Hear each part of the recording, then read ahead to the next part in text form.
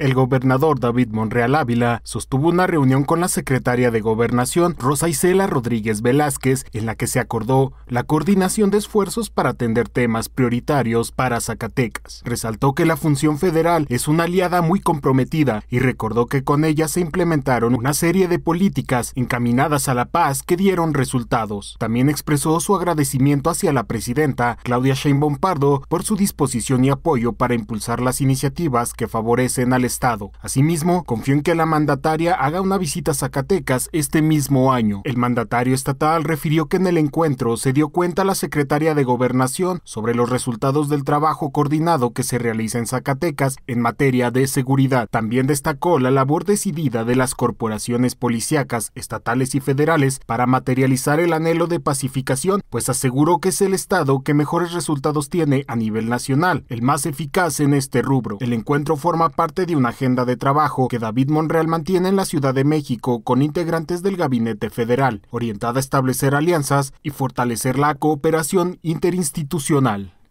Informativo NTR